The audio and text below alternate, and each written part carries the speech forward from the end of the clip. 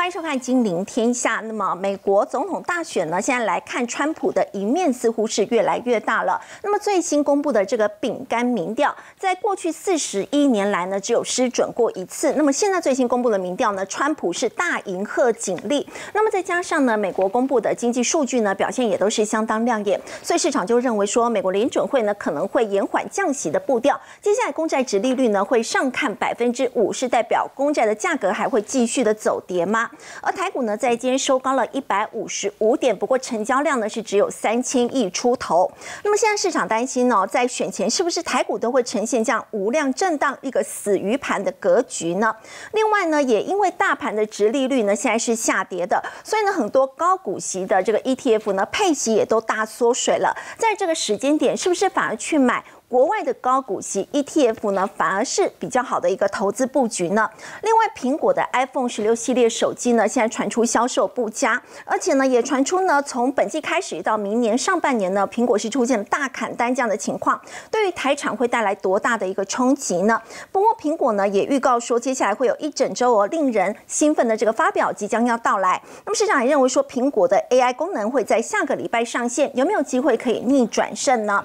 另外呢，统一的。部分呢，他们现在。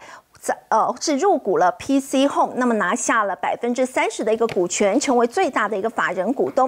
事实上，在不久之前呢，统一才砸这个一亿美元买下了他们跟雅虎呢这个合资成立的这个公司高达八成的一个股权。统一呢接连买下两家赔钱的电商，在背后到底是有怎样的一个盘算呢？我们先请教有明哥哦。那么在不到两个礼拜的时间，美国大选就要到了。那么现在呢，从这个最新的饼干民调来看，川普赢面很大，加上最新公布的一些经济数据，看起来美国的经济表现还很强劲，大家就很担心联准会会不会去放缓他们降息的步调。嗯，对，好紧张哈。这个 这个消息哈，这个随着选情的一个部分，本来川普在中弹的时候，这个声势很高，然后后来变成贺锦丽，然后到最近的时候又开始有一点翻盘，好逆势突围。那美国的经济哈看起来好，但是却也不好，好为什么呢？因为太好的话，我想降息的速度就变慢。对，最近公布劳部劳动部公布出来的一个数字啊，申请失业救济金的一个人数，比前一周啊修正的一个部分啊，减少了一点五万人，大概是二十二点七万。那原先市场的一个预估是二十四点七，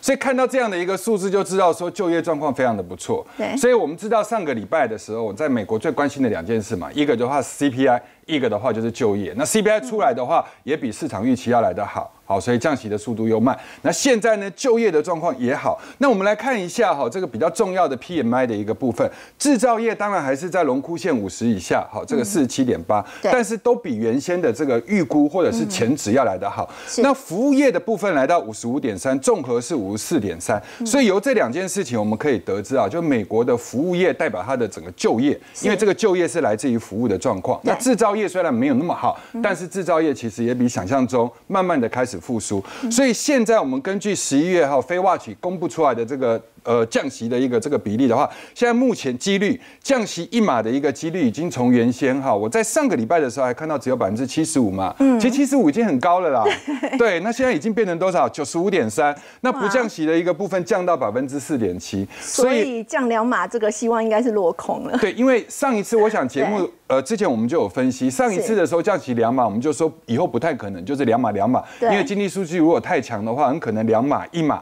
好，类似这样的一个做法，但这件事情哈，我想第一个大家先放在心上，这个就跟殖利率有关。第二个部分的话，就是我们有一个不成文的叫章鱼哥的民调。好，那这个就是美国的所谓摇摆州、俄亥俄州、辛辛那提的一个 Boston Bakery。这一家面包店，哈，这个在做饼干的，他常常呢，就是从一九八四年开始到目前为止，大概预测了十次。那我觉得这个发明也真的非常的奇葩，就是他在做饼干的时候呢，第一个就是做候选人嘛，那有两个候选人，甚至是一个独立，独立当然就是不表态。好，然后每一年他都去做，每一次大选他都去做。那目前为止呢，做了十次，只有一次共估。好，那所以预测率很准，这个比张宇哥还要准。对，好，这比张宇哥还要准。所以他这一次在做的时候，包含像贺锦丽，呃，如果你喜欢贺锦丽的话，当然你内心里面自然就会去买贺锦丽的饼干来吃。好，那川普当然你就会去买川普的饼干来吃。好，那如果独立就买独立的。哈，然后呢，这十次里面哈，哪一次不准呢？就二零二零年，当时买川普的人比较多。结果最后选出来的时候是拜登。拜登，哎，对。但除此之外的话，基本上都没有突锤过。嗯，那本来这个数字在上个礼呃九月份的时候，九月二十几号公布的时候，大概是多十五趴，就川普比贺锦丽多十五趴。但是各位可以去看一下，一直到十月二十二号的时候，最新出来的那个饼干数字啊，川普是两万七千零九十一块。然后呢，这个贺锦丽是一万，很多，这个已经差了二点七倍了，对不对？好，所以原则上的话，现在大家已经开始要慢慢的去接受，甚至并且去想象川普当总统之后的一个情形。那还有一点很重要，因为这个是川普的第二次，那毕竟他年纪已经大了，所以有可能会是他的最后一任。哦，就是假设他选上最后一任，那各位也都知道，那个总统如果选到最后一任会干嘛？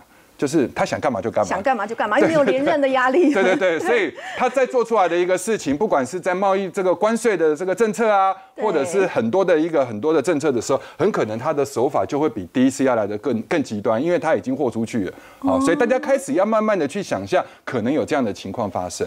好，那如果接下来这个美国联总会降息的步调会放缓的话，手上持有美国公债的话，还要抱着继续让它跌吗？影响债券的主要因素当然是跟降息有关，是。但是各位不要去想象，各位不要去忽略了一件事情，因为债券本身是有发行量的一个部分。嗯。那如果说是以美国公债来讲，不管你今天是贺锦丽当选，或者是川普当选的话，呃，美国的赤字势必要提高，那美国的公债量就是以新还旧，所以它还必须要再发行，但是。如果你用这个角度去想的话，债券的价格其实是会有被压抑的情形，殖利率会还会再继续高。可是如果你换成所谓的头等债或 BB 级以上的这一些金融债等等的话，他们其实印债的高峰都是落在二零二零到二零二一，就当时疫情之后的话，公司可能营运的问题，所以他们必须要跟市场筹资。嗯那筹资完了之后，其实到二三二四的时候，他们都没有再发行新的债了。嗯，对，或者是他们有一些公司债，甚至是可转债。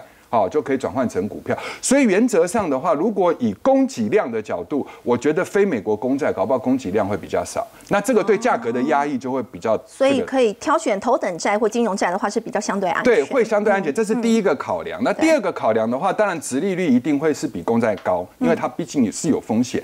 第三件事情的话，就是在降息的初期的时候，因为。呃，企业哈，企业方，尤其是印公司债的这些企业方，他们对利率的敏感度一定比国家的公债要来的高，所以只要是降个，比如说一码的话，其实债券的波动量。感觉的这个波动量一定敏感度会高于公债，嗯，对。那直到降息变成了一个常态性的降息的时候，美国公债才会正式的去反映所谓的这个到期限的这样的一个问题。对，好，对。所以原则上的话，我们现在帮大家来去筛选类似这样的一个，比如说是公司债，或者是头等级、头等级的，或者是金融债等等的。我们大概就有几个角度：第一个是内控费用，第二个是存续期间，嗯，第三的话就是最近这四季的累积配息，第四的话就是呃上个月。哦，就是九月份含这个所谓配息之后的一个这个绩效跟全年，那我觉得全年很重要，因为就美国公债所有的 ETF 来讲的话，其实大部分都是负的。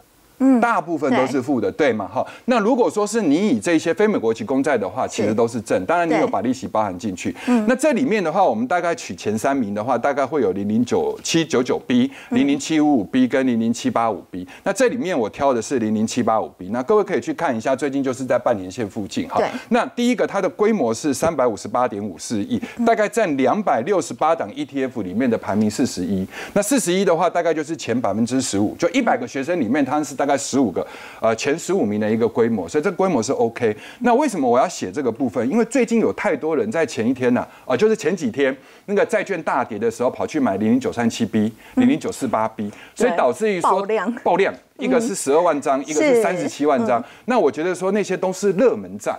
但热门债一个角度来讲，就是筹码会比较乱。对，好，那接下来的话，我们再来看今年年初，如果你不是买美债，你是买买黄金的人，老实讲，现在最近你看节目都会偷笑，对不对？因为美债殖利率跟你没有关系，甚至是殖利率越高，对你的黄金会越好。可是有明哥，他现在已经每盎司都超过两千七百美元了，你觉得还有在上涨的空间？我记得我们是从两千二开始讲的，对不对？就像台积电从七百讲，那你说八百可能有压力，九百有压力，一千有压力，一千一也是有压力哈。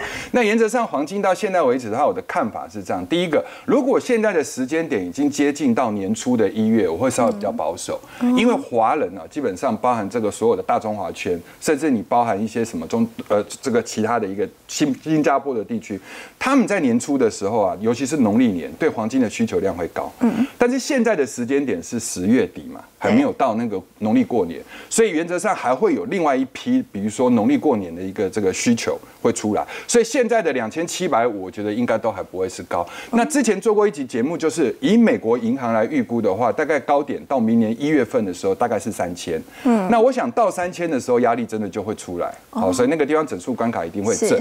那全世界跟黄金，我觉得先不用绕着弯去买股票，因为我们即便是有一些跟含金量有关的股票，但是其实都不纯。啊，一般的话拿黄金来提炼啊，废金属来提炼啊，等等，那个对 EPS 的贡献度不高。但是我们现在就是要的话，就直接买最纯的，比如说黄金的 ETF。ETF。那 ETF 里面，各位你把整个这样看下去之后，你发现只有一个数字你看得懂，叫零零七零八 L。对，其他全部都英文，对不对？那就代表那个都是国外的，所以它就没有接地气，也不亲民。国内就是唯一这一档。对，这一档当然因为这一档是正二。那这一个的话，如果说你是风险考量的话，你当然就是零零六三五 U。好，因为这个是一倍而已嘛。那那个零零七零八 L，那个是琼州 A，那个是正二的部分。那所以我们来看一下哈，其实就三个月跟今年以来，你看今年以来的报酬率，甚至比国外这些都高哎。对对对对对，因为这毕竟是正二嘛。对对，那跟这个期货的波动有关。然后还有就是说，整体来讲的话，三个月其实它其实都赢啊。所以我觉得今年哈，大家有几个想法啦。第一个的话，如果你债券的 ETF，特别是美国公债 ETF 过多的人。啊，这个地方可能挪一些啊。如果你觉得黄金高，那当然你可以买一些非美国公债的 ETF。但是呃，千万不要心存一个想法，就是哎，公债一直跌，啊，美国公债一直跌，那我们就一直摊平，总有一天等到你。好，我觉得这个时间点可能会拉长。特斯拉财报亮眼，在昨天股价大涨了两成以上，但在这一次财报表现好，除了这个制车的成本大幅的下滑，还有一个就是来自于碳权的收益。要请教有明哥，台湾也有受惠像这样碳权交易的股票？呃，绝对有。哈，第一个，我想昨天大家今天早上看到了这个特斯拉大涨的时候，应应该的一个想法就是来我们来冲一波吧。好，冲一波特斯拉概念股。那事实上。我们可以去从我们最近两集的节目里面都有特别提到，它的一个这个跟市场上的一个预期其实是不如预期的，因为原先的话，大家是预估大概是两百五十三到两百五十四亿美金的这样的营收，那它出来是两百五十一，那交车量的一个部分是比去年同期成长百分之二，但是也是不如预期。不过这些东西都是大家可以想象，在中国电动车的一个刺激之下、冲击之下的话，特斯拉卖得好，这个是不可能的。嗯，对，所以这件事情大家可以接受。那看到它的一个获利，就是它昨天晚上暴冲两成的主要原因，主要是因为它多了一个，比如说七点三九亿美金的一个碳权收入，那这个就是大大的超乎大家的一个预期哈。那我们可以知道，就是说从呃两千零九年以来，它已经收了九十亿美金的一个碳权，但是是最近这几年收的比较多。好，然后呢，去年一整年收了十七点九亿。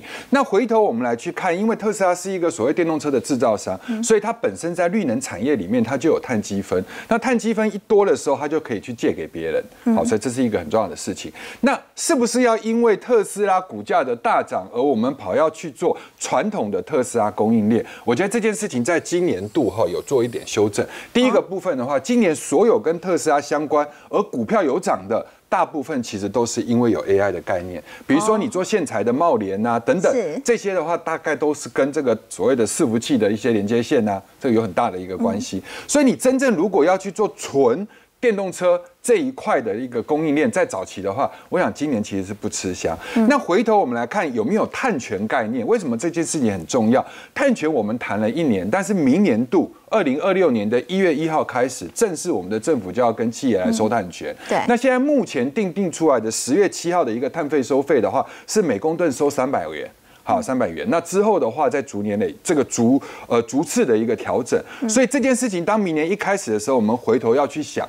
第一个，谁是能够卖碳的大户？第二个的话，就是经授就金融的这个授权平台，好来去做这一块的。所以原则上的话，我们就帮大家来挑三一三七一二的一个永威投控，因为这家公司的话，本身它没有做，但它子公司。